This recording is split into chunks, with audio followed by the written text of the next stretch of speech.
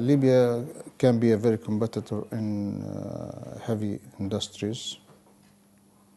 Uh, we had uh, an example for the Misrata steel industries and cement also, petrochemicals, refining also it can be very competitive in power generations, uh, solar uh, and uh, solar and wind energy. Uh, but this competitiveness uh, need to be uh, based on the internationally standards from the environment point of view.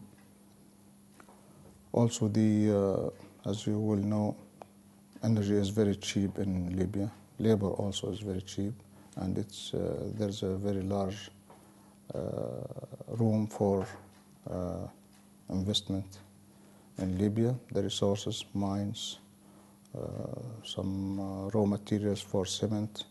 We've got uh, also the uh, iron ore in so many places. We've got some a lot of mines for the uh, marble and uh, some special stones. We have also the uh, sand silica in a very high purity. Some other uh, lakes, uh, salty lakes, which are a source of uh, so many uh, minerals. This is, this is the these are the points for the competitiveness, and the point of competitiveness is the uh, mainly the uh, the availability of the resources. We shor- we shortly will uh, announce the investment map. This will facilitate the uh, investors to look through and to know what are the opportunities at the research the uh, investment industrial or industrial investment map.